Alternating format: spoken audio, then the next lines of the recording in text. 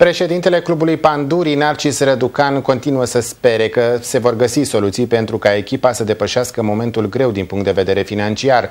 Răducan nu concepe faptul ca județul Gorj să rămână fără echipă de fotbal de prima scenă. Chiar dacă până în momentul de față nu s-au găsit soluții de finanțare pentru Pandurii, Narcis Răducan rămâne optimist.